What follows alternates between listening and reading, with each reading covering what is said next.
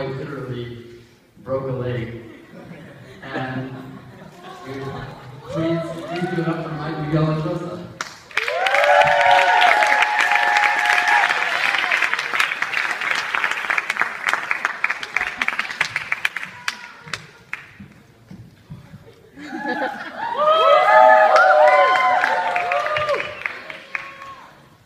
Another round of applause. Perhaps another round of applause for Jay, because that was amazing. Um, I don't know what you guys were thinking during that performance, but I was thinking, why am I second? um, but it's okay. Uh, the important thing is I was able to get here because, as Alex mentioned, I almost did not get here because, yeah, I broke uh, my foot.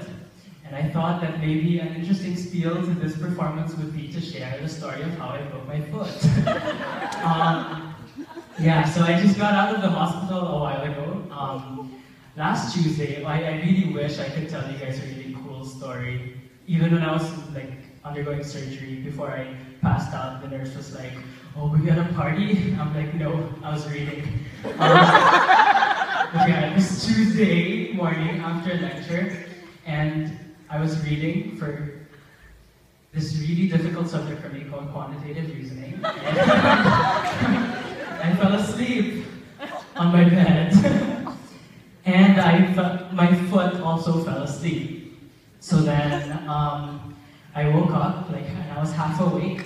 I wasn't sure that, oh, I can see people like covering their faces, but I won't make it really gross, don't worry. But like, I didn't know that my foot was numb. So I took a step forward. All people are like, okay, I took a step forward and basically my foot didn't step properly. So I broke my toe. Um, yeah, yeah, it hurt. But um, the first thing I thought was, oh my god, I can't dance. so I'm just gonna sing for you today. Um, but yeah, and I guess before I sing, I just wanted to share some things that I learned from the experience to you guys. Um, first, while in the hospital and seeing all the doctors and nurses come in, seeing all the people making me sign forms while I was screaming in pain, um, I realized, you know, how fast-paced a lot of things are.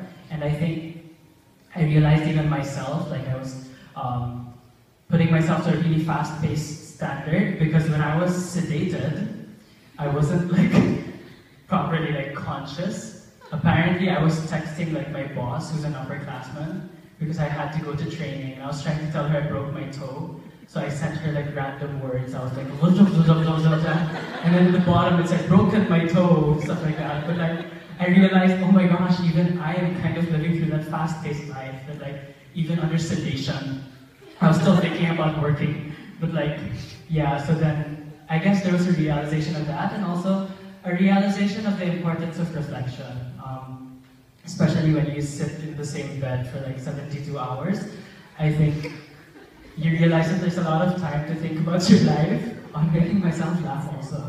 Um, but yeah, there is an importance in those times of reflection. And I guess that's also what I want uh, to create now, a time for us to all just reflect, to chill with our families, um, and I guess to hold on to um, that phrase that is so stuck to Billy Joel's songs, which I'm going to sing from Vienna. Uh, slow down and Vienna waits for you.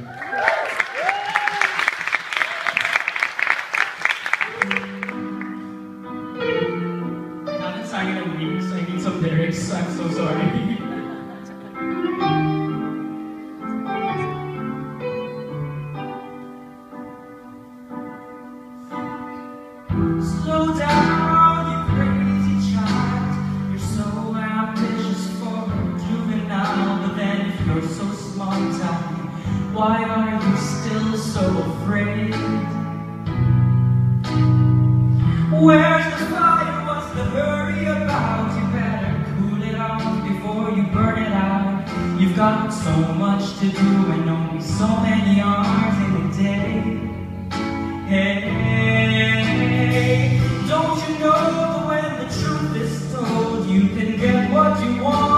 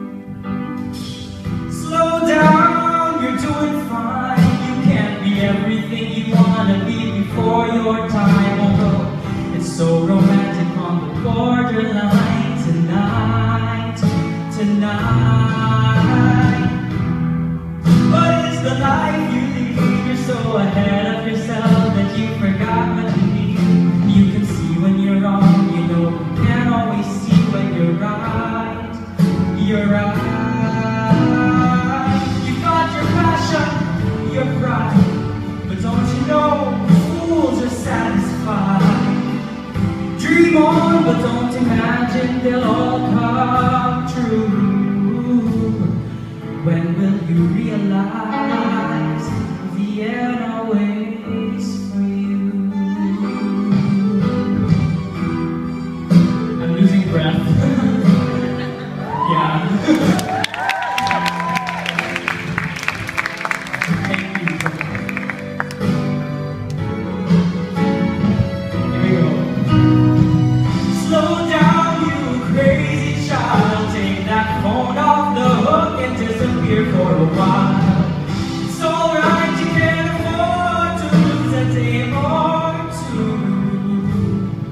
When will you realize Vienna waits for you? And you know that when the truth is told that you can get what you want